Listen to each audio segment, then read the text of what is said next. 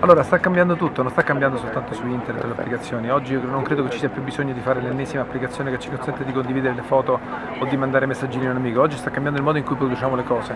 E come è diventato più facile farsi un sito e fare un'applicazione, è diventato più facile produrre oggetti. Questo è dovuto al fatto che ci sono delle stampanti 3D che costano molto di meno, che ci sono delle tagliatrici laser che sono più uh, facili da usare o che ci sono delle schede come Arduino che sono facilissime da programmare. I bambini fanno delle cose fantastiche usando Arduino che costa 20 euro. Questo vuol dire che tutti possiamo fare gli oggetti possiamo produrre oggetti, inventare oggetti con molta più facilità di prima. E questo apre spazi infiniti, oggi la vera innovazione non sarà più probabilmente nel mondo del software, nel mondo digitale, del, del, del digitale classico, ma sarà nel mondo dell'hardware, degli oggetti fisici. Sono questi che vanno reinventati, vanno resi intelligenti e vanno soprattutto customizzati.